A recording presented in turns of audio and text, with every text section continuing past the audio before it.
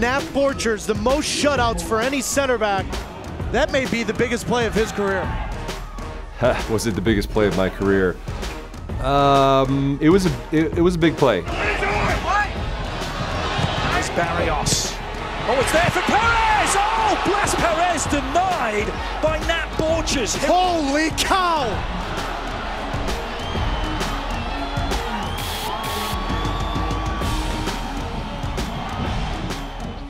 That's Nat right there, setting the tone, putting his body on the line. The two 34-year-olds going at it. Watch Nat Borchers save the day for the Portland Timbers.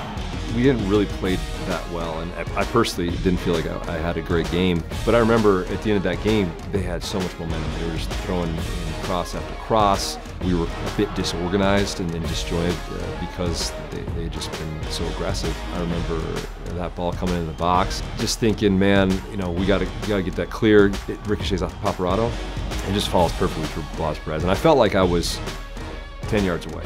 I just thought, well, I got to give give my best shot, just a reaction, and you know, slid over as quickly as I could, uh, and, and, put out a foot, and, and he could have shot a million different ways. Yeah, I remember the, the feeling, you know, when it hit my leg, just knowing that, you know, I deflected it, it wasn't going to goal. Just a tremendous amount of relief.